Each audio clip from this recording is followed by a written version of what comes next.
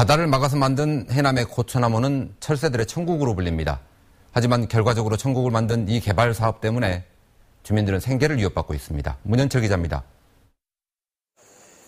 한때 큰 섬이었던 해남군 황산면 징일이 앞바다입니다.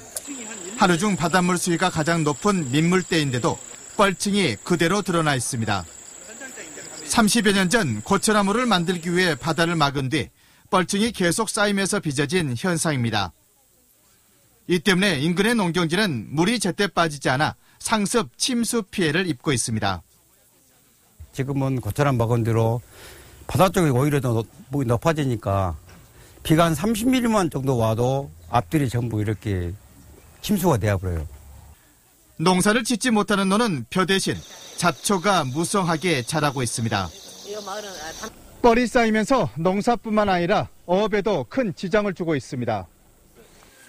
수심이 낮아져 어선들이 뻘 등에 걸리는 일이 자주 빚어지고 주된 생계터인 김양식 어장도 예전 같지 않습니다. 근데 그동안에 뻘층이 제가 올라오는 걸 봐서는요.